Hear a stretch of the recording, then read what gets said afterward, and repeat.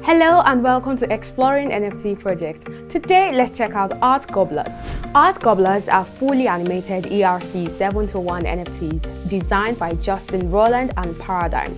They have random attributes and produce gradual ownership optimization, popularly known as GOO or GOO, which is an ERC20 Ethereum token emitted by Art Gobblers, which serves as the foundation of the Art Gobblers economy.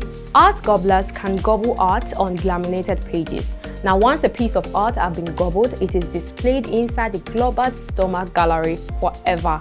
This means each art gobbler can serve as an art gallery, an individual curated portion of the decentralized gallery. Now there are 10,000 art gobblers NFTs with floor price around 4.05 Ether and 1,410 unique trade pairs.